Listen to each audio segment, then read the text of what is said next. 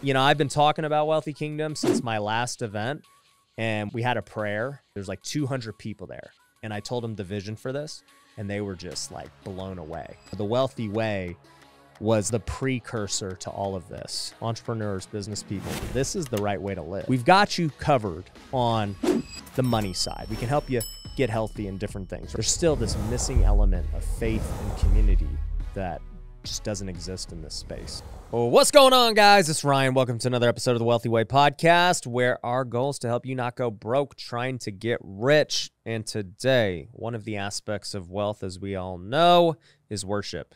And this has to do with anything with faith and spirit. And I got to tell you, I haven't done many podcasts about faith, and I figured this was a good time to jump right into it because a lot of things are happening. We are launching something very big in the Christian space. And as I've gotten ready to launch this thing, I've gotten lots of pushback and different, uh, I guess, criticisms is the best way I would say it. And so I want to talk to you guys about some of those criticisms and things and ways that I plan to address it and ways that I'm kind of like managing faith now that I'm just so much more out there with my Christian faith on social media because even though there's a ton of great feedback and a lot of people are inspired that I'm being more bold, there's also other things that now that I'm doing this, I need to be a lot more cautious of, I guess. And so I want to talk about all those. I want to talk about money and faith because money is very taboo with basically any faith, um, especially the Christian faith. And uh, I want to talk about just my morning post and, and what we plan to do. So, well, jumping right into it, um, many of you guys know we have our education programs, and they're all uh, wealthy branded. So we have Wealthy Investor, which is for real estate. We have Wealthy Creator for content creation. We're launching Wealthy Business um, for just all entrepreneurs to become better business people. Um, but one we are launching at the end of April, maybe early May, is called Wealthy Kingdom, which is for Christian um, entrepreneurs slash business people. And I'm most excited about this because it's going to be like, I mean, it truly is my passion project, and it's what I feel God calling me to do. Uh, it is something that is a massive need in the space. You know, when you think about starting any business, right, you've got to be passionate about it. And so, obviously, with this, I'm very passionate about it.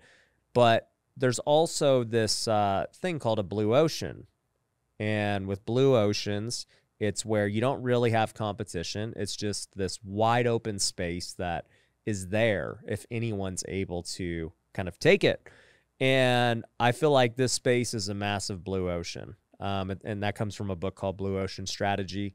Uh, a red ocean would be where there's blood in the water and everyone's fighting over the same thing, right? So it's like a, a typical red ocean, I'll just say like house flipping. Okay, everybody's fighting um, for similar deals and different things. With house flipping, like unless you're really differentiating yourself, you're kind of doing the same thing as everyone else, and so you know it's a red ocean. Doesn't mean you can't make money in red oceans. You know, most businesses are in red oceans, but the best businesses are able to create and go into blue oceans where there's not really any competition, and therefore it's just wide open for for um, kind of the taking. And the way that you get into a blue ocean is by you know creating something that really doesn't exist and is just such you know insane value and such a great need and it's just something people haven't really thought of before. And so with wealthy kingdom i look at it from a purpose standpoint of it's what i want to do regardless of it being a blue ocean and also the fact that it is a blue ocean makes it really exciting you know, basically what I plan to do is create this community for Christian entrepreneurs, and it's going to be the cheapest thing we have. Like, you know, our other programs cost thousands of dollars, tens of thousands of dollars, you know, in, in some of the programs. And this one's literally going to be a hundred bucks a month or less. And it's mainly because I just want as many people to get into it as possible. And, um, you know, really the revenues so that we can just scale and grow and, you know, run operations and do the things we got to do. And, um, you know, I plan to donate a ton of the profits to a lot of the different causes that, um, you know, our members and myself are going to be uh, passionate about. But, anyways, the reason it's exciting and the reason it even started was because I had been posting about my Bible studies for the last like five years. So, if you follow me on Instagram and, and specifically Instagram stories, um, every Wednesday I've had a Bible study for the last five years at my office, and so I post about it, and uh, people have seen it, and I've gotten so many messages like, "Hey, you know, can we be a part of this? I don't have anything like this where I'm at," and my response has always been no, and it's not like a mean no or anything. It's just like no, like it, it's an in-person thing. It's not something for Zoom. There's like very personal things that are talked about that can't be shared with the world. So no, you can't be in it. But hopefully one day you can find one like it. And that was my hope. I'm like, man, you know, get get plugged in at uh, you know, whatever church you're going to. And then it, it goes to the question of a lot of these people reaching out to me aren't even going to church right now, right? They're like seeking faith. And it just kind of became apparent to me of like, wow, what we have is very unique. You know, there's not, I don't know of any other entrepreneurs who are doing this. And there's a lot of people hungry for it to at least test it out and see, you know, where they can grow in faith. And, you know, the more I thought about it, the more I was like, I need to like create these Bible studies nationwide because if we're able to bring all these entrepreneurs and business people together and help them grow as believers, um, that's going to make a huge impact for the kingdom. Number one. Number two, it's going to make a huge impact in all these business people and entrepreneurs' lives. Number two, because they're now going to have, you know, fellowship with like-minded people, right? Like, it's one thing when you're a part of your church and you know you're you're serving and you're going. That's amazing, but you usually don't have a lot of people that you relate with or vibe with. And so to be around other like-minded people in the business and entrepreneurship space uh, who are also believers is a really big deal. I know it's helped me tremendously. Some of my favorite people in the world that I collaborate with who are really big are believers, and that's why we are so like close. So I think it's going to be great on that. But then the third and probably the most biggest important thing is that I think we are going to help equip them to become so much more impactful at their church and in their community, right? Like if we're able to show them that, hey, you know, you can do way more than you think. Um, you can serve more for your church and your community. You can give more to your church and your community. Like these things are really important because I think a lot of entrepreneurs and business people, they they might hear it from the church itself and they're like, oh well, of course the pastor's saying that. Why would I do that? You know, they uh, whatever, right? And I think when you hear it from another business person who has no agenda, right? Um, it's like I I'm not getting your tithe. I don't want it. You know, go give to your church. Uh, it's going to change things, and I think it's going to really impact churches across the country if we can really influence these guys. Because at the end of the day, right, like these entrepreneurs and business people are likely the leaders in their communities. They run the businesses. And so if I can have a huge impact on them, we're going to change communities, right? Um, so that's that's part of our just overall mission, you know, in building leaders and enriching communities at, you know, my company, Pineda Company. And so if we can do that through Wealthy Kingdom, it it just is going to change a lot of things. But let me tell you this, okay? What I'm attempting to do is going to be very difficult for lots of reasons and really I mean, this podcast is about faith, and like I'm just transparently sharing with you the things that I am going through, faith wise, and the pushback I am getting faith wise um, as I as I go about doing this, um, just so you can understand and you know realize kind of I guess where I'm coming from and why I'm doing things the way I'm doing them. But um, you know, one of the things that's going to be really difficult is launching nationwide um, Bible studies, right? Because like this is huge, you know, or, or life groups, whatever you want to call them. Like that's a whole nother thing too, just like what to call them. Um, because if some people hear one word, some church hears one word, you know, they might get defensive. So whatever, I'll talk about that later. Anyways, um, the the hard part is going to be launching these things nationwide. So like the group the group stuff that we do is going to be simple because we already know how to run digital communities and education, right? So we'll we'll have it just like we have all of our other education, where it's like, hey, we're going to have um, weekly calls, right, where there's going to be lessons. Um, based around business and entrepreneurship and faith. So it's going to be very applicable to the people in that community. Uh, you know, we're going to have private groups where you're going to be able to network and build relationships with all these people across the country. Um, we're going to set up nationwide events, right? Like we're very good at holding events. We're going to continue to hold amazing events where there's going to be amazing worship. You know, we're going to bring in, you know, pastors and athletes and celebrities and like, you know, people who are really building up the kingdom.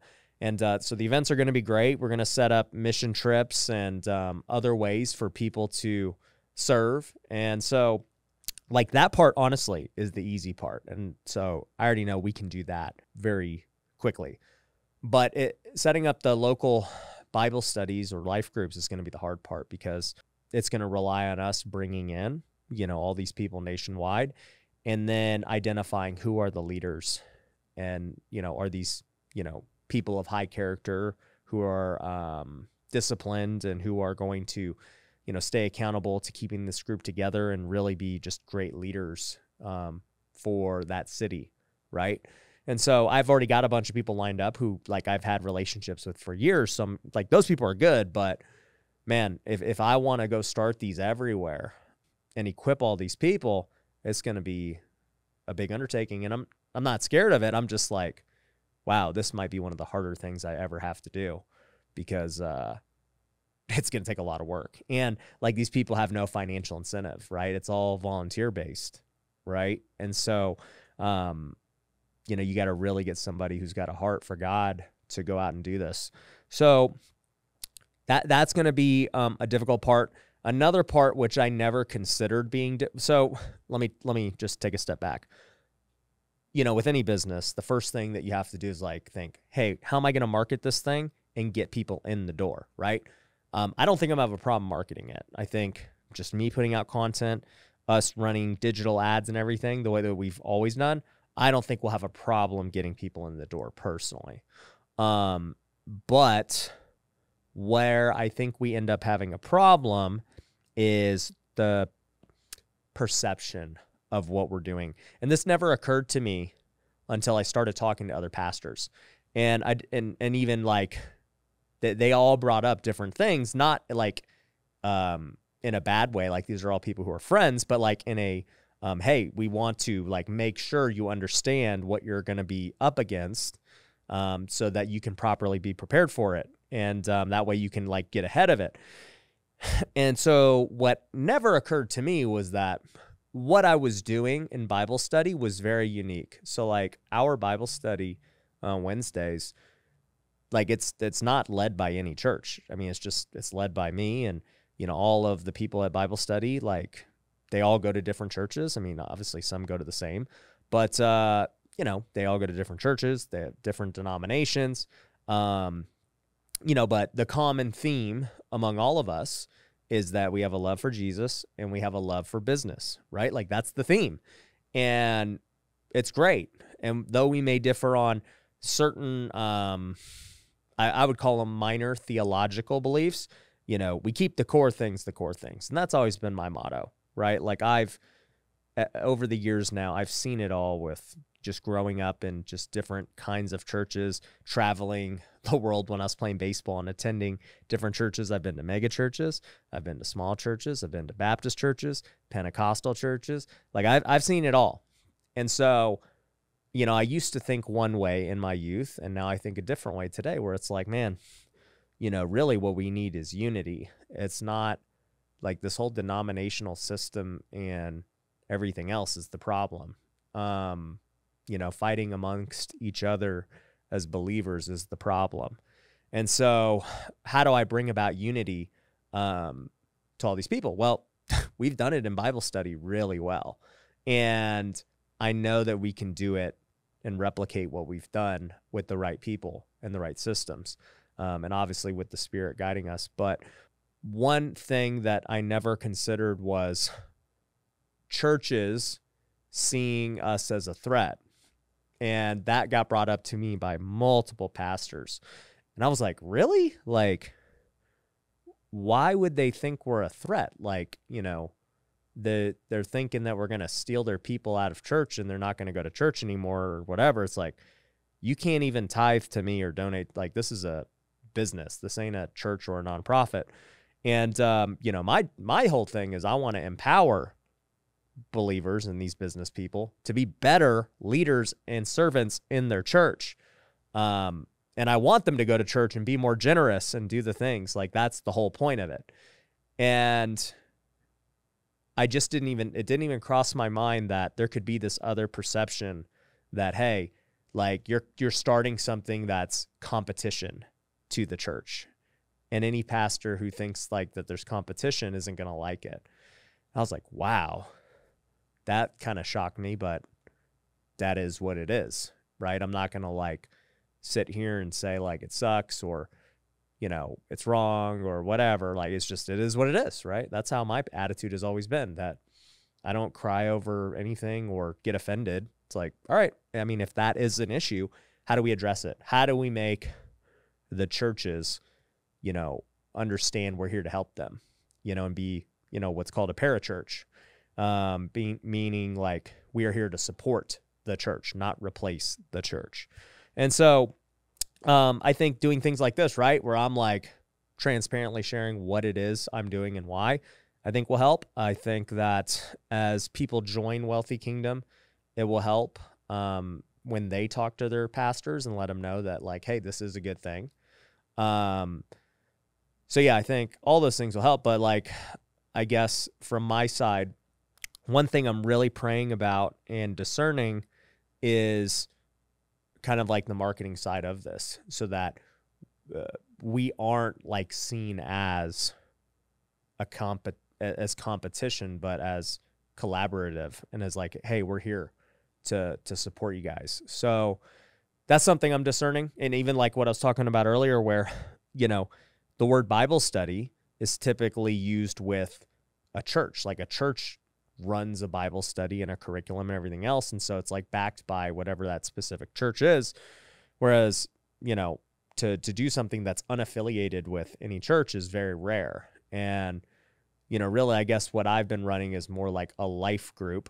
Um meaning it's like, man, we share life together and yeah, we we study the Bible. Sometimes we do other kinds of studies, you know, on different books and things in faith. And so regardless, I don't really care what it's called. I'm all I care about is like how it's perceived and what's going to give us the optimal result we're looking for, which is to, you know, make the kingdom better.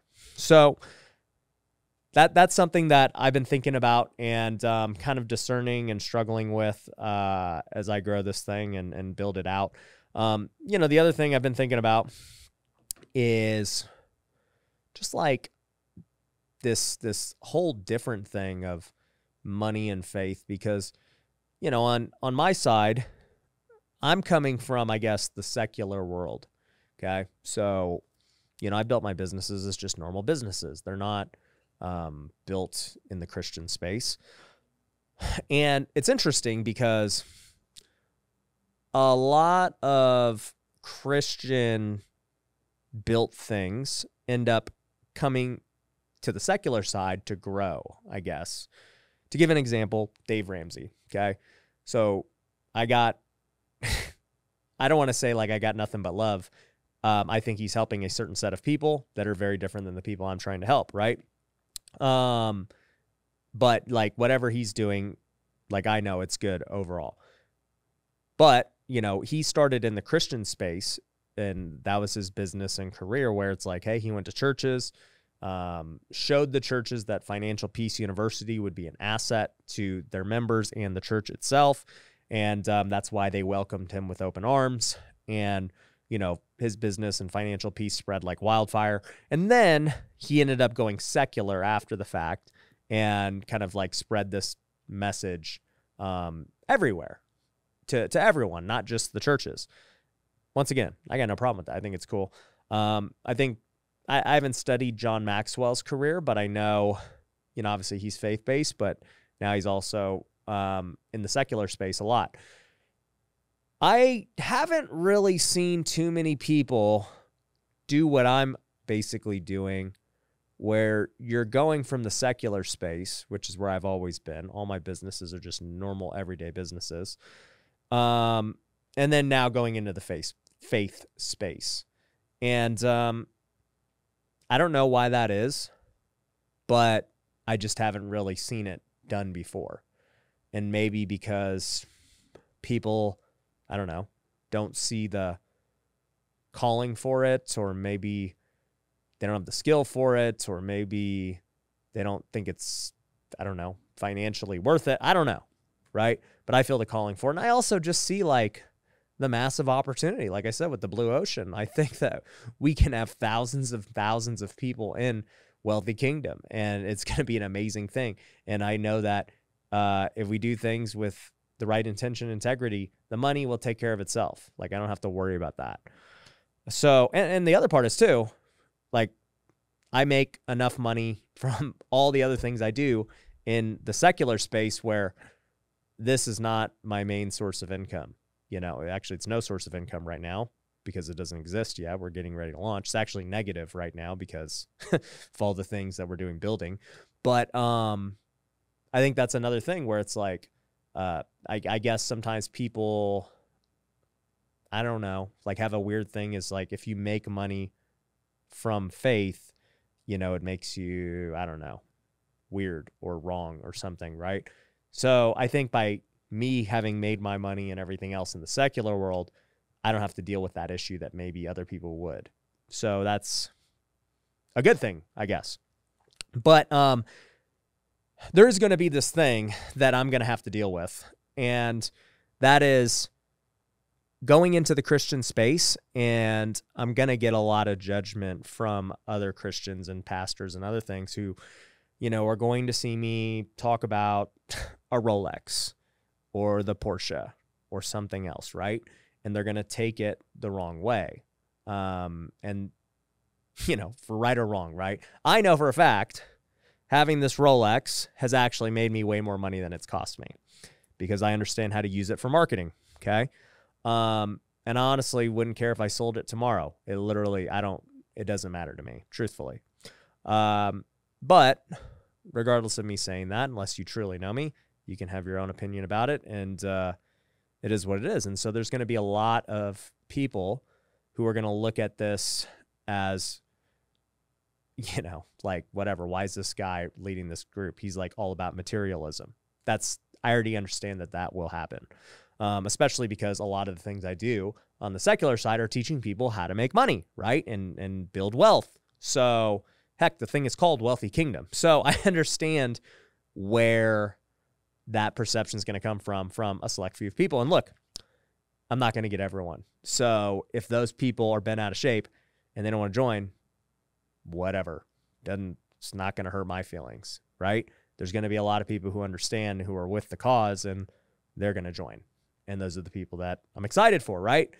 And then hopefully the other people come around at some point and see the true intent of what we're doing. And honestly, too, um, just it being new, like I don't expect people to just like go right off. Like I think that over time you'll see the fruit that it bears, and that will be what brings more and more of these maybe skeptics to the table.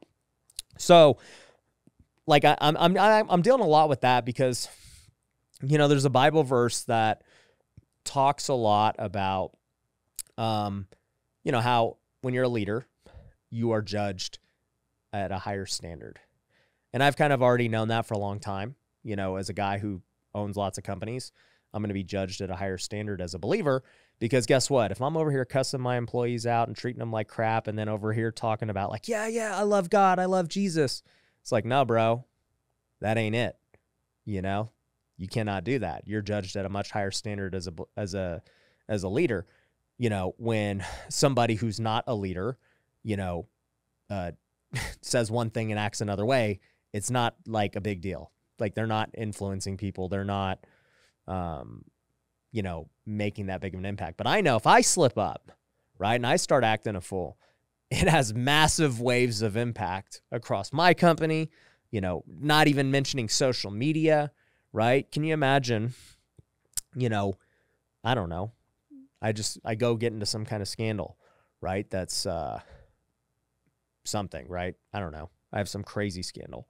It's like, man, dude, like, did you hear like Ryan was like out there doing drugs and he got charged with like all this drugs and I don't know, whatever, right? Like that would be a whole thing and that would cause a lot of repercussions over everything. So it's like I've already realized um I'm going to be held to a much higher standard regardless. But this like takes it to an even another level of hey, now you got to like actually be very very like um aware of the things you're doing and how they're perceived because it's not only now just a reflection on you and your family, but it's a reflection on God and the kingdom, like to a higher degree. And so that's something I've been thinking a lot about as we launch this because it's going to open up the door for a lot more criticism. And I mean, the Bible talks about that. Look, you know, let your actions be so strong that uh, it just becomes hard to criticize you because your actions are just, you know, so fruitful. And so that's really all I can do is just kind of let my actions speak for themselves and um, just be aware of the things that I know are going to come up. But um, like another thing that's been crossing my mind with this is like the whole church denomination thing, right? Because like there's there's like strong feelings. That's why denominations exist, right? Um, and there's not going to be a denomination for Wealthy Kingdom, you know? We're going to allow all kinds of Christians to join and even people who are seeking to follow Jesus, like they're going to be able to join. And um, there's going to be people who don't like that. You know, there's going to be people who are like, oh, dude, well, you know, do you believe uh, in this thing? Uh, like, what's your stance on spiritual gifts and speaking in tongues? What's your stance on um, how often you do communion? What's your stance on? Like, guys, bro, if that's tripping you up and, you know, you really need to be in the group if that's tripping you up because you need to see other perspectives. But also too, like like I said, I think my my whole thing is like unity. How do we bring you know, more people together and let the main things be the main things? You know, if you want to debate over the small things, that's great, but um, at the end of the day, if that separates you and makes you think you know, like it, and it causes strife and drama, that's where it becomes the problem. Um, and I've seen that a lot, unfortunately. And, you know, that's just something I'm going to have to navigate towards, you know. But one thing I can say is I'm, I'm sharing transparently with you guys what feedback and things I have received on like the the harder side. On the good side, oh my gosh. Like you know, I've been talking about Wealthy Kingdom since my last event, and we had we had a prayer at my last event. Um, there's like 200 people there, and I told them the vision for this, and they were just like blown away. They could not. They're like, "Can we just start now?" And I'm like, "Well, you know, I got to build this out. It's going to take some time, but like we're ready." And um, so like that feedback was amazing. You know, I've been more active on Instagram and everything with um, literally, like every morning, I'm posting myself reading my Bible at five, five in the morning, and like that's just what I've always done, but I never posted about it. You know, so I started posting about it, and I would just, I've just been kind of writing a daily devotional of what it is like I was learning or reflecting on that morning, and the feedback from that has been amazing. People are like, dude, like keep sharing these posts. They are changing my life and the way I think. Um, you know, with the Wealthy Way 60, our, our challenge, I've had so many people tell me that, you know, this 10 minutes of prayer that's a requirement in the challenge has changed their life, you know? So I'm super encouraged by everything that uh, I'm doing, right? With the feedback we're getting from being more bold in my faith, like even doing this podcast, I'm sure I'm going to get lots of great feedback and I'm to get others who, you know, aren't so happy with it. And that's fine. But um, like I feel super encouraged to do all these things. But I, I just want to share with you guys like uh, what I've been going through as I've been building out Wealthy Kingdom and how it's affecting my own faith and how, you know, I, I think about doing content now. Um, you know, how I think about prioritizing my time and energy and everything else because, you know, at the end of the day, um, I'm probably uh, well, I already know I am. I'm more passionate about doing this than I am anything else, you know, and all the other things are amazing. You know, I love our events and coaching. I love flipping houses. I love, you know, true books. I love, you know, Pineda Media and, and editing and filming. And I love interviewing guests on the podcast. But I already know Wealthy Kingdom will, for me, be the thing that I am most passionate about. And it probably won't really be close.